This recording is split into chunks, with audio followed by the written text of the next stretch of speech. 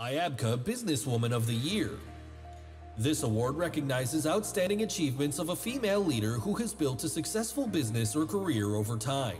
It now gives me great pleasure to invite on stage the Honourable Dr. Geoff Lee, MP, Minister for Skills and Tertiary Education and Minister for Sport, Multiculturalism, Seniors and Veterans, representing the Honourable Gladys Berejiklian MP, Premier of New South Wales, to provide an address before assisting with the next award. Thank you.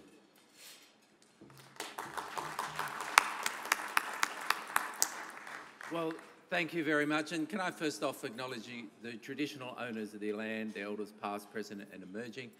Can I say thank you very much, Sonia Gandhi, for your vision, your dynamism that has made eight years of fantastic awards. And I think it's a tribute to you and your team that we can have tonight's award with such a great and auspicious crowd. So can I welcome all our dignitaries tonight? I'm not going to go through them, but can I recognise our community leaders, our business leaders, our religious leaders and our diplomatic corps. Can I recognise my parliamentary colleagues? If I don't say their names, they won't talk to me anymore. Can I recognise uh, High Commissioner?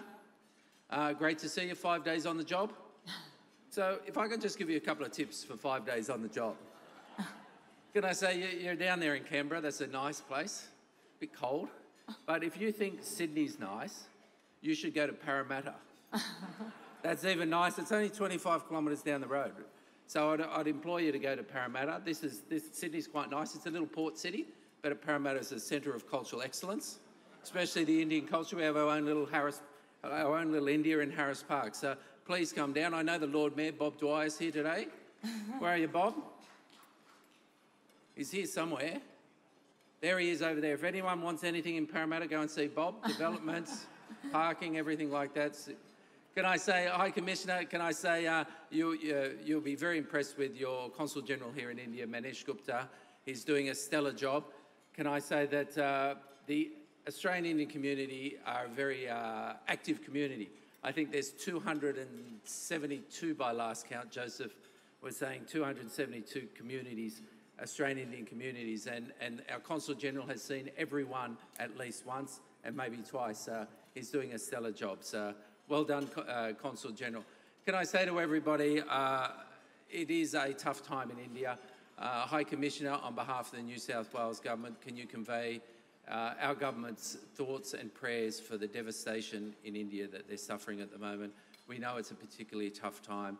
Uh, can I thank Julian Leeser for, and the federal government on, on behalf of the New South Wales people for your aid you know, during COVID, it is a tough time and, and governments have to make tough decisions. So the tough decision to actually pause the repatriation of Australians from India was a tough decision.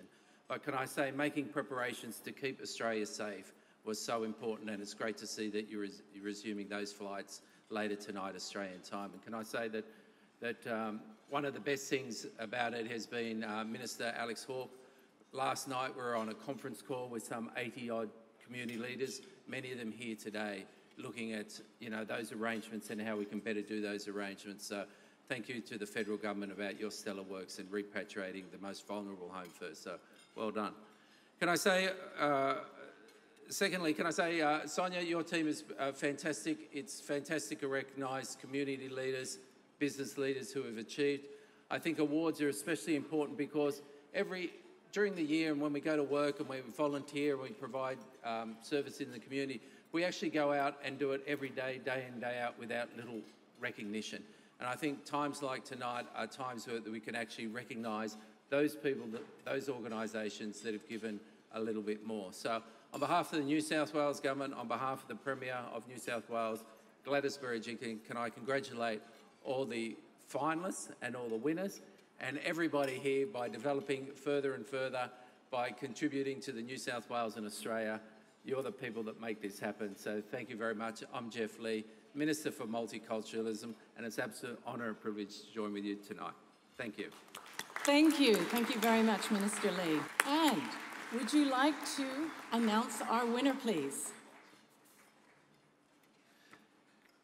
And the winner is uh, the IABC Businesswoman of the Year, is Dr.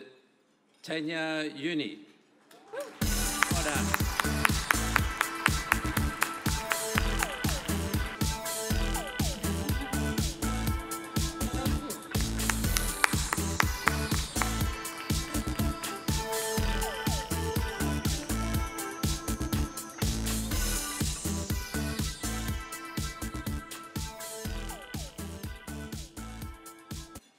This is absolutely amazing. Thank you so much. Thank you for this opportunity. Thank you so much, Ayapka. Thank you, Sonia Gandhi.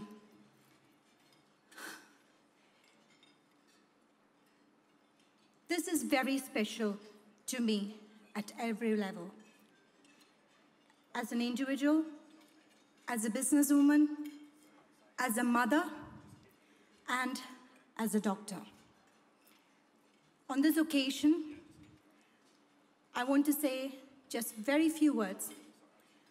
I want to dedicate this award to every single health professional all around the world, especially at this point of time, where I come from, India, the doctors, the health professional who's doing it really tough.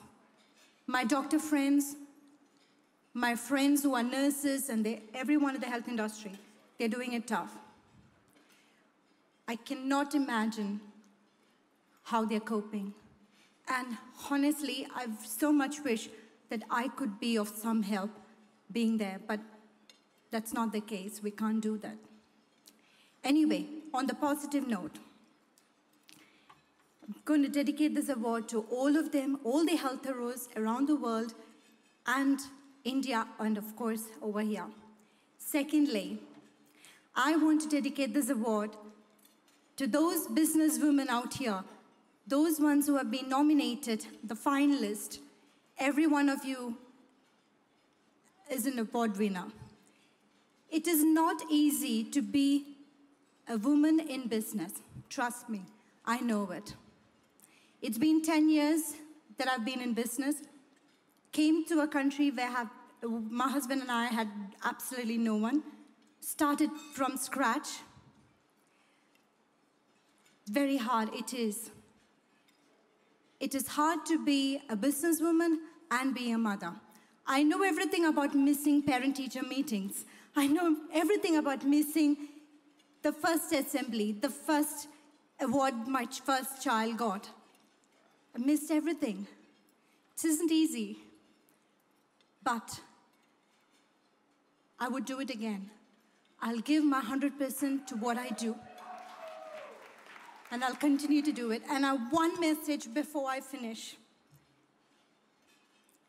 If anyone out here tell a lady, a woman that wait until your child grows up to do business, I would say don't listen. if your heart says do it, and if you want to do it, there isn't any better time. That you decide what you want to do. And that's all from me. Thank you so Thank much. You. Thank you. Congratulations.